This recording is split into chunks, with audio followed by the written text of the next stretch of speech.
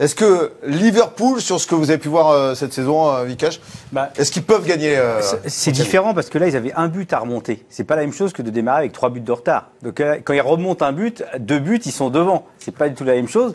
Euh, Dans l'histoire, c'est déjà arrivé, pas que au Bernabeu. Moi, je me souviens que Liverpool avait remonté le Barcelone à domicile avec trois buts de retard. Ils ont été capables de le faire chez eux.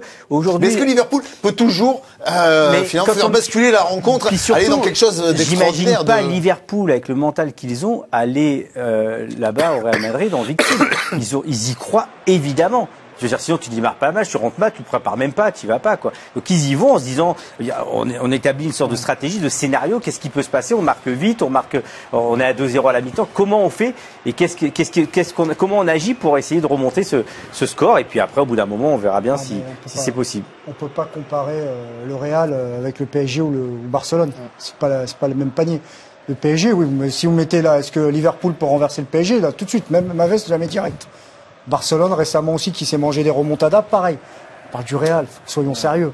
C'est une équipe que tu renverses pas. Les euh, germanophiles, Jürgen Klopp, euh, il peut trouver la, la formule, il peut, il peut réussir à aller chercher cette qualif?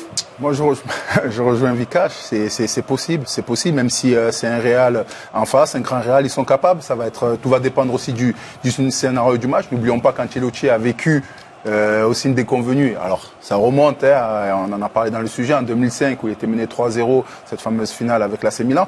Donc, bien évidemment, je pense que le Liverpool va aller là-bas pour essayer de se qualifier.